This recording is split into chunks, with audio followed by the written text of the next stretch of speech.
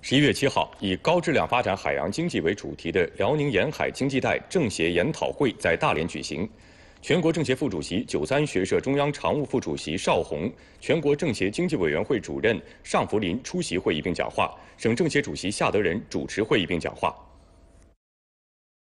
邵宏希望辽宁要深入研究承接落实国家相关规划政策，形成长期系统稳定的发展机制。要坚持创新引领，加大科技创新投入，支持共建国家级创新研发平台，把科技成果转化政策和人才政策用好用足，为海洋经济和辽宁经济的发展提供强大的新动能。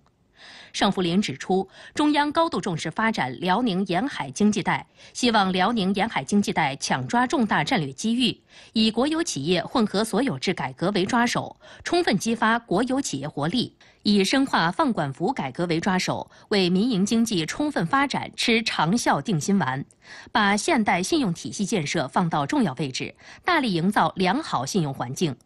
夏德仁指出，要以新气象、新担当、新作为，落实好辽宁沿海经济带开发开放战略，形成对国家重大战略的坚强支撑。